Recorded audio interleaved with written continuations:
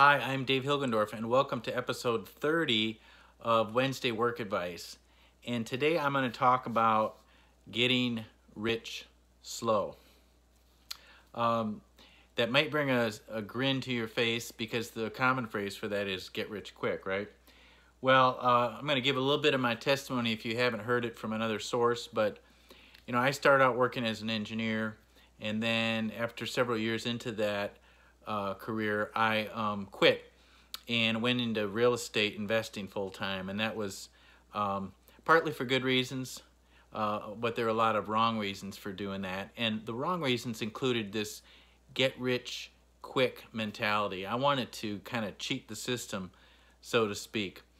And uh, in, in, in a lot of ways, my testimony has some similarities to Dave Ramsey, who is a, one of my um, mentors, one of the people I really have looked to, looked up to and learned from. And my wife and I uh, facilitate his financial peace class. We're just starting up doing that for the ninth time, and we really believe in his program that's taught in Financial Peace University. But one of the things he talks about in that class is the biblical concept of steady plodding, and it's probably captured pretty well in Proverbs 13:11 which uh, the NLT has a really, I think, useful translation, which is wealth from get rich quick schemes quickly disappears. Wealth from hard work grows over time. So this is just God's way of doing things financially.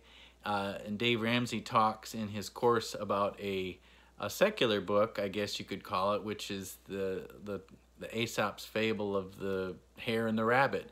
The idea that the, the rabbit is a lot quicker than the or I'm sorry, the uh, yeah, the rabbit's a lot quicker than the tortoise, um, but in the end, the tortoise wins the race.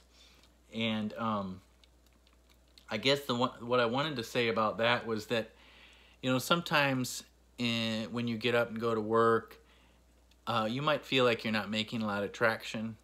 And again, you might be making some mistakes uh, and not following good biblical principles in, in various ways. And I, I highly recommend the financial peace class to to everybody. It's a, it's such a very useful, practical class.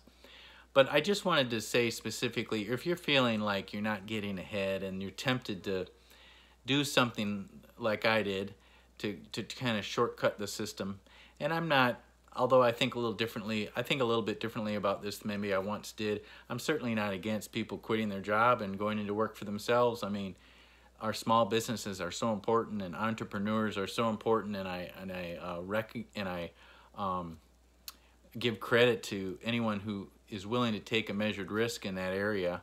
And if that's where God has put your passion in your heart that's there's nothing wrong with that. But if you if you feel like you're in the right place in, in general in your, in your work that you're where God wants you to be but you just feel like you're not making traction financially and you're frustrated with that um, I would say just just take heart that steady plodding is God's way.